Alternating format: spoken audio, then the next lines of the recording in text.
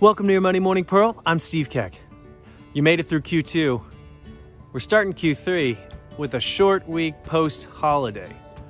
So, when it really comes down to it, I bet a lot of you are feeling like there's not a lot of pressure to go on this week. You don't really feel like anyone's going to be very responsive. And that may be true, but it might not be.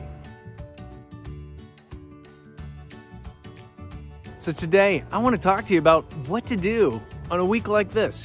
When it feels like the pressure's off, the week is short, don't really have to get a lot done this week, and we can sort of work it out and pick it up next week. What do you do to make this week dynamic, progressive, without all the pressure? First thing I want you to think about is your competitors maybe taking the week off.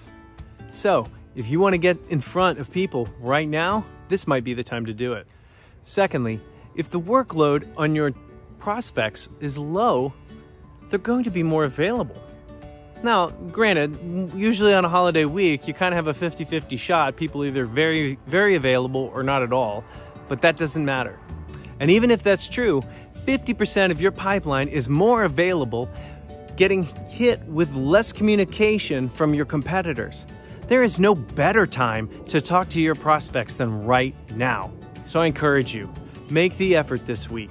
Set the stage for either a conversation next week or a conversation this week so that you can move people onto your pipeline more effectively.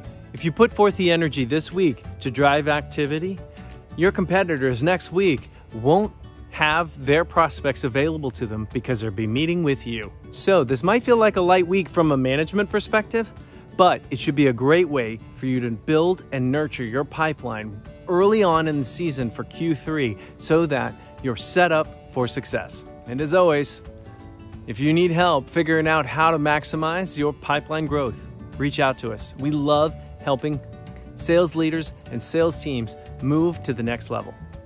You can find us on our website or one of our social channels.